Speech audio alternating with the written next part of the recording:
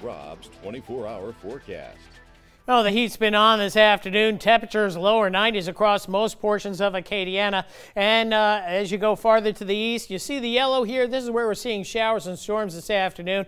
Uh, not too bad, Thibodaux, but Raceland at 91. All these folks without power, uh, they are praying for a cool front. We do have one on the way. But in the near term, a healthy scattering of showers and storms, mainly on the other side of the Atchafalaya Swamp. But we're seeing some of that activity slipping in and impacting portions of Acadiana from the Stephensville area area and then on westward through around Jeanerette. Most of the action, though, Chaffly Basin on eastward on the other side for right now. But we can't rule out an isolated shower, at least in the near term. Should be quiet overnight tonight and then tomorrow. That sun and cloud mix once again. A slight chance of a pop-up shower or thunder shower tomorrow, but at about 20%.